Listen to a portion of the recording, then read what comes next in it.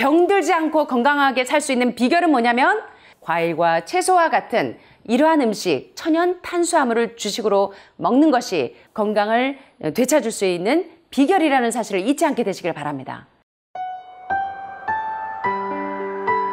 인간은 그러면 무엇을 먹도록 설계된 동물인가 하면 과일을 먹도록 설계된 동물이라는 것입니다. 여러분 아시는 것처럼 프로저보아가 뭡니다. 프로저보아. 프루테리안? 프로저보어는 주식이 과일이고 부수적으로 부드러운 녹색 채소를 먹고 사는 과일을 먹는 영장류를 일컬어 무엇이라고 한다고요? 프로저보.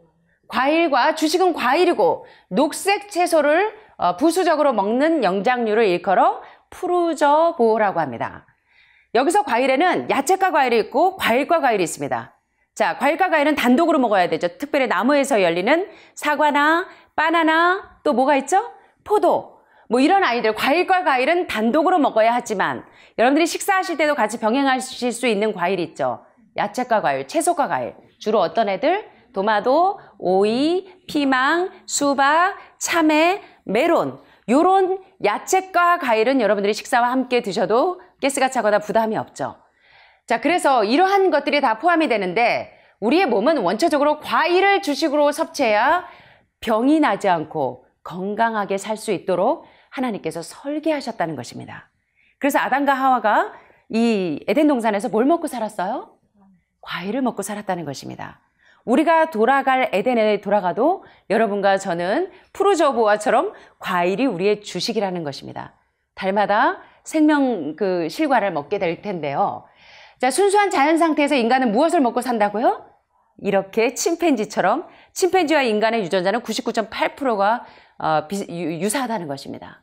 그래서 침팬지가 이렇게 과일만 먹어도 질병 없이 암이 없이 건강하잖아요.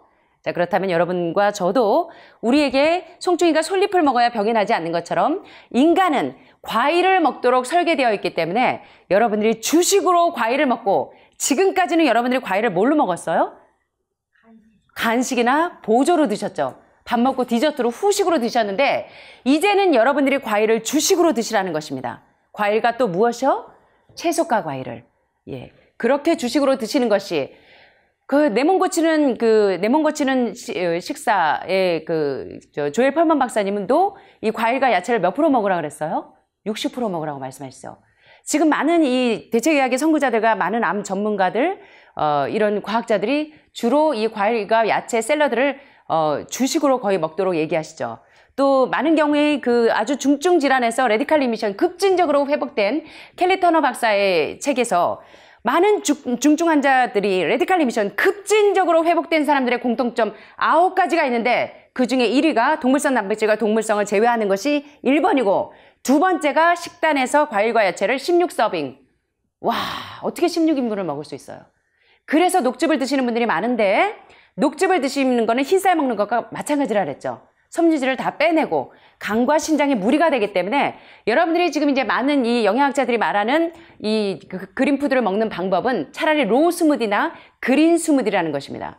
갈아서 압착해서 낸 게 아니라 그대로 갈아서 통째로 먹는 거. 차라리 못 드실 때는. 더 좋은 건 어떻게 드시는 거예요? 과일과 야채를 그냥 통째로 드시는 거. 껍질채로. 음, 그래서 뭐 오전수나 이런 거나 또는 숟가루나 밀가루나 또는 식초나 이런 거에 깨끗이 껍질을 씻어서 그대로 드시면 이 껍질 속에 피친산 성분이 있어서 그것을 다 농약이나 중금속을 헤비메탈을 용해낼 수 있는 성분이 있기 때문에 염려하지 마시고 껍질째로 가급적이면 저희처럼 약을 안 치고 농사를 지면 좋겠죠. 그런 것들을 그대로 드시는 게 가장 여러분들이 건강을 회복할 수 있는 비결이라는 것입니다. 자, 그래서 우리 정윤숙 여사님, 아, 이제 고기하고 생선, 단백질 안 먹어도 그래서 기운이 없어요가 아니라는 것입니다. 자, 인간은 무엇을 먹고 살도록 설계된 동물이다? 자, 영양성분 한번 살펴보겠습니다. 그러나 여러분들이 이제 프로조 어, 이제 식단도 좋은데 일부 극단적인 사람들은 다른 음식은 일처를 먹지 않고 과일만 먹는 프로테리안들도 있습니다. 근데 여기서 여러분들이 굉장히 지혜롭게 하게 되시기를 바랍니다. 주로 80의 비율을 어, 이제 천연 탄수화물을 먹으라는 것이지 그렇다고 해서 단백질과 지방질을 섭취하지 말라는 것이 아닙니다. 곡물을 섭취하지 말라는 것이 아닙니다. 그래서 부드럽고 색이 짙은 녹색잎 채소 역시 최적의 영양과 건강에 필수적인 미네랄이나 각종 영양소를 제공하기 때문에 여러분들은 그래 더글라스 그레한 박사가 이야기한 것처럼 천연 탄수화물 위주로 균형진 과일과 채소식을 드시는 것이 우리 몸에 독소가 쌓이지 않으면서 우리 몸의 이 인체 생리대사가 원활하게 돌아갈 수 있도록 만드는 가장 좋은 병들지 않고 건강하게 살 수 있는 비결은 뭐냐면 송충이가 솔잎을 먹어야 병들지 않는 것처럼 인간은 우리가 설계된 구조상 어떻게 먹어야 되냐면 과일과 채소와 같은 이러한 음식, 천연 탄수화물을 주식으로 먹는 것이 우리가 병들지 않고 혹은 병이 들었다고 해도 건강을 되찾을 수 있는 비결이라는 사실을 잊지 않게 되시길 바랍니다. 영양학적으로 과일은 인간의 몸에 필요로 하는 영양소로 가득 차 있고 뭐라고요 여러분? 과일은 영양학적으로 우리 몸이 필요로 하는 모든 영양소로 가득 차 있다는 것입니다. 창세기 1장 29절에 보면 하나님께서 우리를 창조하시고 무엇을 먹으라고 했냐면 저기 지나가는 순종이를 먹으라고 했을까요?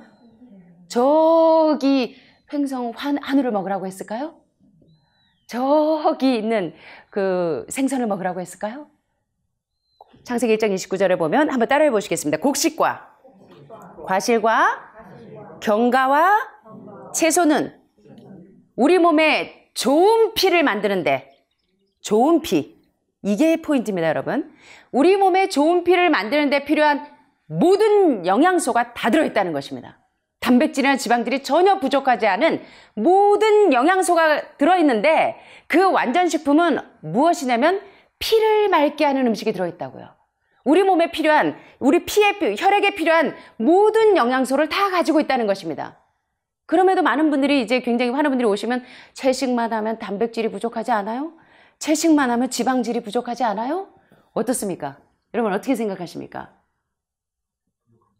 부족하지 않습니다. 예를 들어 블루베리를 한번 보겠습니다. 블루베리 보니까 칼로리가 몇, 몇 칼로리?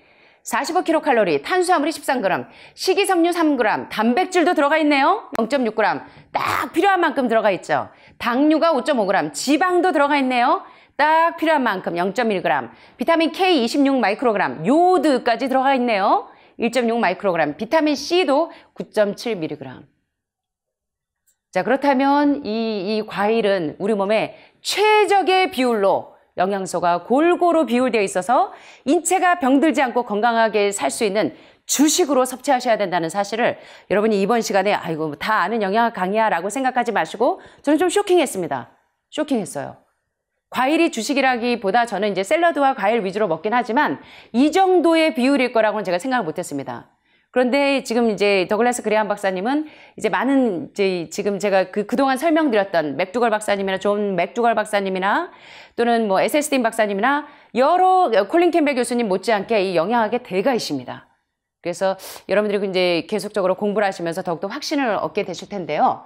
자, 적당하게 익은 과일은 탄수화물 성분을 인간이 더 이상 힘들게 소화할 필요가 없는 포도당이나 과당이나 단순당으로 변환시키는 데 특별히 과일을 주로 먹어야 되는 이유가 제가 이제 로프들을 이제 여러분들의 요리 강습 세미나에 오셔서 효소가 파괴되지 않은 영양소가 파괴되도록 여러분들이 흰쌀, 흰밀가루, 흰설탕으로 기름에 지지고 볶고 이래서 다 병이 걸렸기 때문에 효소가 파괴되지 않고 엔자임, 영양소가 그대로 살아있는 음식을 만드는 방법을 배우셔야 합니다. 물론 그냥 드시면 돼요. 그렇지만 그걸 지혜롭게 효소를 파괴하지 않는 방법으로 로프들을 배우시는데 자, 과일 안에 듬뿍 들어있는 살아있는 효소, 이 엔자임이 우리 몸에서 어떤 역할을 하냐면 단백질을 아미노산으로 바꾸어 줍니다. 그리고 지방을 지방산과 글리세롤로 변환시키기 때문에 소화시키는데 에너지를 쓸 필요가 없어요. 뭐라고요, 여러분?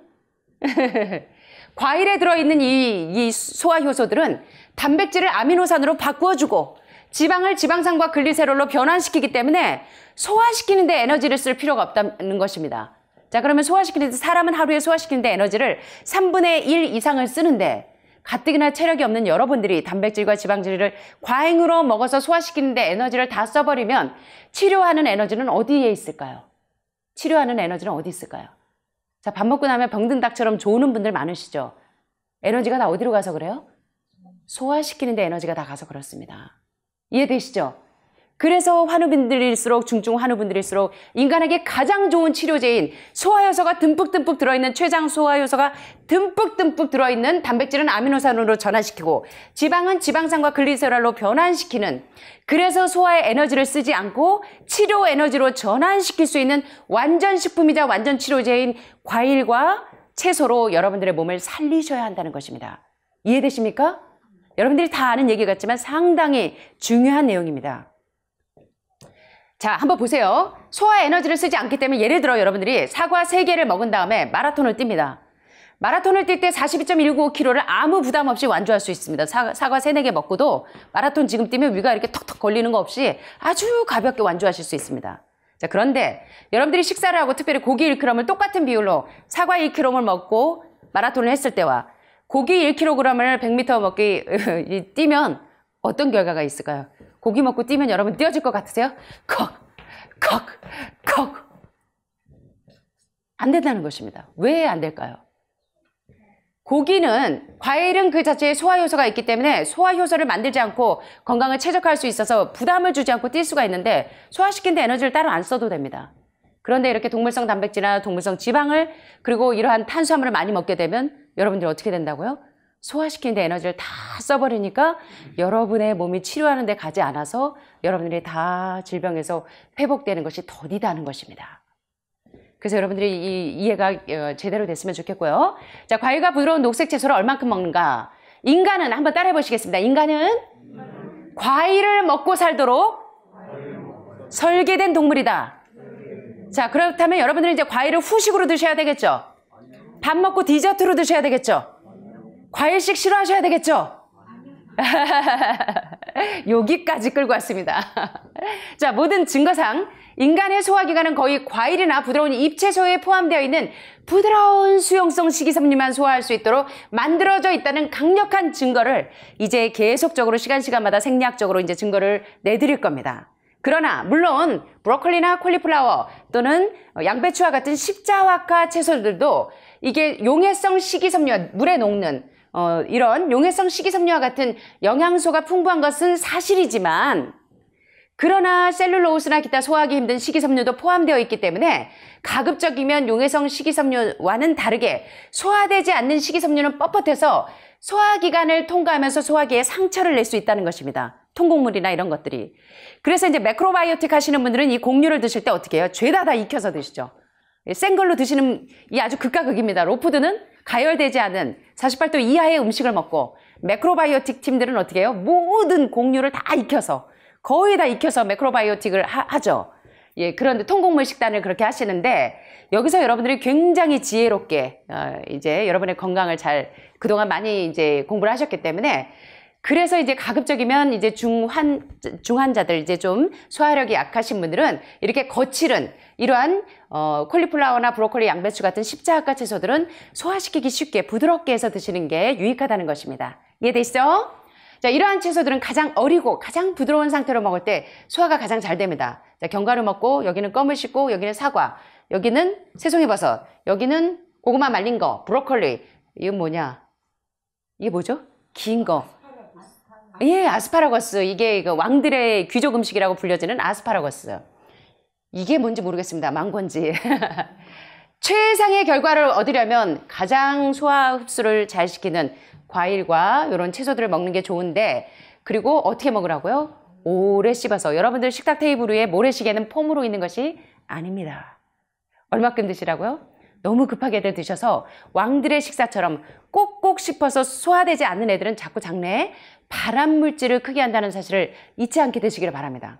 제가요 이게 큰 살림을 오래 하다 보니까 꿀떡꿀떡꿀떡 넘겨요.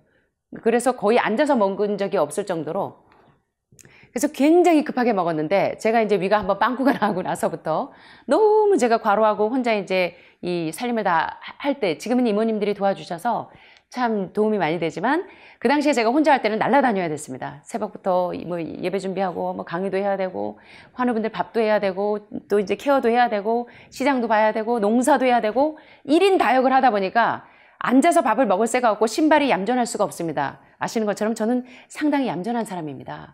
예, 그런데 이제 일이 저를 이렇게 만든 거죠. 이거 핑계인가요? 자, 자, 그러다 보니까 제가 이제 이렇게 얌전하게 뭘 먹을 수 있는 상황이 못 돼서 매일 급하게 서서 먹고 하다 보니까 제 위가 문제가 생기기 시작했어요. 자, 그래서 제가 철저하게 환우분들한테 적용하던 걸 저한테 적용했더니 이렇게 이제 다시 회복이 되긴 했는데 제가 처음으로 고치게 된 게 뭐냐면 씹는 거였습니다. 오래 씹었더니 소화기가 살아나더라고요. 그래서 일본의 나시오카 박사가 꼭꼭 씹어 먹는 것이 질병을 치료하는 가장 좋은 비결이라고 하는 거 여러분 건강의 원칙은 가까운 데 있습니다. 여러분들이 늘상 알던 거를 실천하지 않아서 그래요. 소화되지 않은 음식은 장내 발암 물질을 크게 한다. 이 식사 시간마다 아주 급하게 드시는데 더 천천히 모래시계 다 뒤집어질 때까지 천천히 천천히 드시게 되기를 바랍니다. 한 번만 더 따라해 보시겠습니다. 완전히 흡수하려면 완전히, 무엇 해야 된다? 완전히 소화해야 한다. 완전히 소화시키면 여러분들의 장내에 발암 물질들이 줄어들기 시작합니다. 아셨죠? 완전히 흡수하려면 완전히 소화시키셔야 됩니다. 아무리 먹어도 여러분들이 기운이 안 나는 거는 흡수가 안 돼서 그래요. 자, 문제가 어디에 있어요? 꼭꼭 씹어 먹고 소화되지 않아서 그렇습니다. 그래서 암 환자가 회복되시려면 소화의 생리학부터 공부하셔야 돼요. 아셨죠? 네. 자, 과일을 주식으로 섭취하게 되면 다른 모든 방법보다 단순한 밥상을 차릴 수 있습니다. 가장 단순한 것이 가장 건강한 것이고 가장 단순한 것이 가장 진실한 것이라는 것입니다. 자, 마지막으로 날씬한 몸매와 투명한 피부를 유지하면서 평생 병원에 가지 않는 방법은 반드시 아침과 점심 원하는 과일을 섭취하시라고 이 더글라스 그레한 박사님은 누누이 설명하십니다. 결론적으로. 병들지 않고 날씬해지고 미스코리아 되시려면 여러분들 이제 병에서 해방되시려면 어떻게 하시라고요? 평생 병원에 가지 않는 비결은 매 식사 때마다 원하는 과일을 충분히 섭취하시라는 겁니다. 얼만큼? 80. 충분히가 얼만큼? 80의 비율로. 불로 재료된 어떤 채식 식단을 드신다고 해도 반드시 과일을 우선적으로 먼저 드시라는 것입니다. 주로 채소과 과일이면 좋겠죠. 식사 때 드신다면. 식후에 단 것이 생각나지 않을 만큼 충분히 여러분들이 샐러드로 양을 채우시라는 것입니다. 이해되시죠? 자, 오늘 이제 여러분과 제가 이제 함께 지금까지 아, 더글라스 그레한 박사님은 인간은 무엇을 먹도록 설계된 동물인가? 송충이는 솔잎을 먹어 유전자가 병들지 않는 것처럼 인간은 동물성 단백질이나 동물성 지방질을 먹도록 우리 인체는 설계되지 않았다는 사실을 강조하셨지만 지난 시간에는 그래서 인간의 유전자와 인간의 장기와 그 다음에 그 동물성을 먹도록 육식 동물과의 장기는 현저하게 대장의 길이부터 차이가 난다는 것을 배우셨죠. 그리고 장기가 어때요?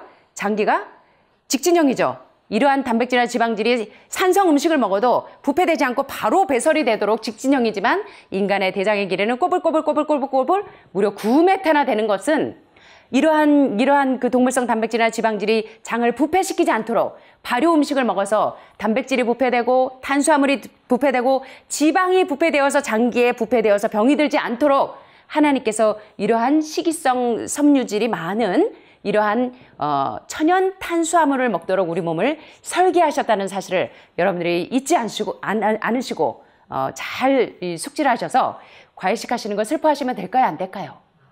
보니까 우리가 건강해지는 비결이 어떤 유명한 몇천만 원짜리 약을 먹어서 건강해지는 게 아니라 갈립을 안 먹으면 송충이가 병들지 않는 것처럼 우리의 유전자에 맞는 음식을 먹어주면 우리 세포는 정상적으로 다시 돌아온다는 것입니다.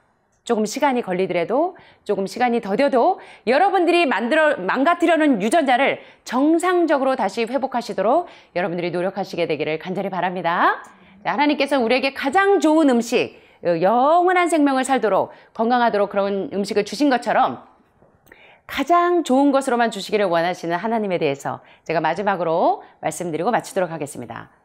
무릇 징계가 그 당시에는 즐거워 보이지 않고 슬퍼 보이지만 여러분들도 내가 위암에 걸리고 유방암에 걸리니까 정말 하나님께서 살아계신 거야?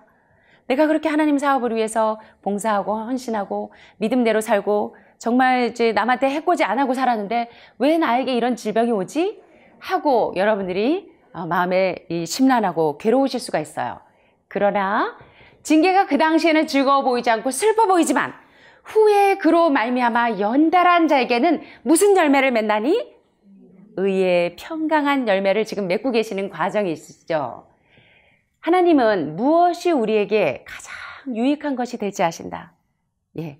우리를 창조하셨기 때문에 우리가 병들지 않고 무엇을 먹어야 건강해지는지 아시는 것처럼 우리에게 무엇이 이러한 시련이 올지라도 이대로 살면 우리가 죽을 것임을 알기 때문에 죽음을 향하여 정신없이 곤두박질 치러 달려가는 걸 알기 때문에 하나님께서는 우리에게 영원한 생명을 주시기 위해서 가장 유익한 것이 무엇인지를 아시기 때문에 지금 때때로 징계가 있을지라도 여러분들이 그 징계가 가장 나쁘고 가장 사랑스럽지 못한 품성의 특성들을 개발시키는 시간이 아니라 지금 여러분들은 하나님의 온유함과 사랑스러움 그리고 그리스도의 귀중한 덕성들을 개발시키는 과정이라는 것을 이해하시게 되기를 바랍니다.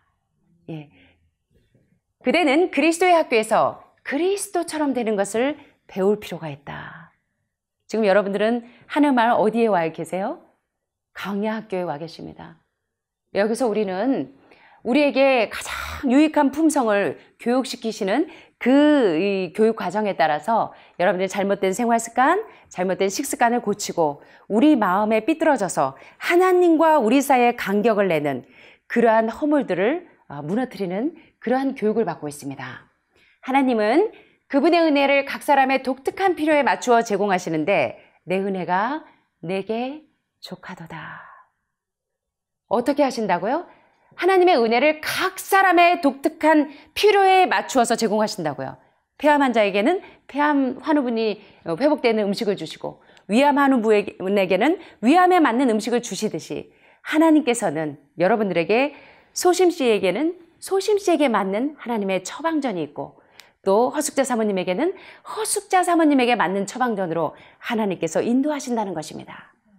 여러분이 위를 쳐다보고 전능하신 내게 능력 주시는 자 안에서 내가 모든 것을 할 수 있을까요? 없을까요? 하나님은 팔이 짧으셔서 구원하는 능력이 없어서 여러분들 못 고치시죠? 그냥 왜 다 웃고 계세요? 못 고치십니까? 전능하신 여러분의 조력자이신 예수님의 손을 믿음의 접촉으로 여러분이 혈류증 여인처럼 가서 천국은 무엇하는 자의 것이라고요? 침노하는 자의 것입니다. 허숙자 여사님, 천국은 침노하는 자의 것입니다. 여러분들 침노하게 되시기를 바랍니다. 믿음으로 예수님의 옷자락을 잡으셔서 여러분의 질병에서 물러나게 되시기를 간절히 바랍니다. 마지막 날들의 위험 가운데 하나님의 백성들 주위로 여러 가지 환란의 어려움들이 몰려올 때 하나님께서는 우리 곁에 천사들이 줄곧 함께 걷게 하심으로 오늘도 유인자 사모님 방에는 천사들이 동행하고 있고 오늘도 우리 허숙자 사모님 방에는 천사들이 동행하고 있고 오늘도 소심여사의 방에는 천사들이 동행하고 있습니다. 여러분들이 지금 호흡하고 있다는 것이 하나님께서 하나님의 생명을 여러분에게 생기를 불어넣고 있다는 사실을 너무나 여러분들은 익숙해져서 잊어버리시지만 우리가 지금 호흡하고 있다는 사실은 하나님께서 지금 나에게 하나님의 생명을 나누어 주고 계시다는 사실을 잊지 않게 되셨으면 좋겠습니다. 그러니까 절망해야 되겠죠?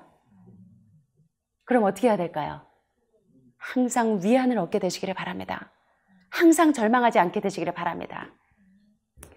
그래서 그분은 우리 곁에 천사들이 줄곧 함께 걷게 하심으로 우리를 예수님의 피 흘리는 옆구리로 더 가까이 데리고 가신다는 것입니다. 큰 시험들이 이뤄올 때 작은 시련들은 잊혀진다는 것입니다. 여러분 이제 웬만한 일에도 꿈쩍도 안 하시죠? 죽음의 고비까지 다 가보셔서 이제는 웬만한 일에 심장 덜렁덜렁 안 하시죠? 근데 오늘 뱀 보니까 덜렁덜렁 되셨나? 자, 그대는 품성이 하늘의 책들에 명기되고 있음을 기억하고 언제나 이제는 사람 앞에 사는 것이 아니라 남에게 보여지기 위해서 사는 것이 아니라 우리는 하나님의 지존자들의 앞에서 산다는 것을 잊지 않게 되셨으면 좋겠습니다. 자, 그래서 어, 우리가 순결함과 진실함과 확고부동함을 유지하면서 그리스도인 충성과 훌륭한 행동의 아름다운 생애를 살 수 없는 그러한 환경이나 장소나 어려움이나 고초는 없다는 것입니다. 우리가 어떤 어려운 형편 가운데 가 있다고 해서 핑계할 여지가 없다는 것입니다. 우리의 품성을 유지하는데 우리가 예수님을 닮은 품성을 유지하는데 남편이 나를 달달 볶아서 시어머니가 나를 괴롭혀서 우리가 온전해지지 못하는 게 아니라 내가 그분의 품성을 받아들이지 않기 때문이라는 것입니다. 여러분들이 이런 사실을 잊지 않게 되셨으면 좋겠습니다. 이거 한번 따라해 보셨으면 좋겠습니다. 승리는 시련을 회피하고 시련을 제거해서 승리가 되는 것이 아니라 시련을 어떻게 하면서 참을성 있게 어떻게 하면서 견디면서 시련을 어떻게 하면서 불평하면서 참을성 있게 견디면서 어떻게 대처하신다고요? 아자아자 화이팅! 영웅적으로 대처할 때 얻어진다는 것입니다. 그래서 실족하지 아니하는 자는 복이 있나니. 여러분 끝까지 낙심하지 아- 아니하시고 하나님께서 우리에게 주신 건강의 법칙을 줄고 순종하시면서 여러분들이 승리하게 되시기를 간절히 바랍니다. 자, 모든 사람이 시련을 만날 것이다. 그러나 예수님을 바라본다면 그분을 개인의 구주로 믿는다면 우리는 모든 시험을 통과하고 이런 시련을 인내로 견디면서 강해지고 더욱더 강해지고 더욱더 강해져서 그 다음에 어떠한 시련과 시련이 와도 여러분들이 견디고 이기고 또 이길 수 있다는 것입니다. 건강만 회복하는 것이 아니라 여러분이 영적으로도 이기고 또 이길 수 있다는 것입니다. 그런데 우리는 종종 자신의 좁은 시야 때문에 하나님의 인내하심을 발견하지 못하도록 내 연약한 내 자아가 가끔 나를 무너뜨린다는 것입니다. 모든 고민과 혼란의 때 언제나 하나님은 우리에게 확실한 피난처가 되신다는 사실을 잊지 않게 되시기를 바라고요. 그리고 우리를 정결케 하려고 의도된 고난 중에서 복음의 능력은 틀림없이 여러분들의 요새가 되고 피난처가 되고 위안이 되게 되시기를 간절히 바라면서 말씀을 마치겠습니다. 감사합니다.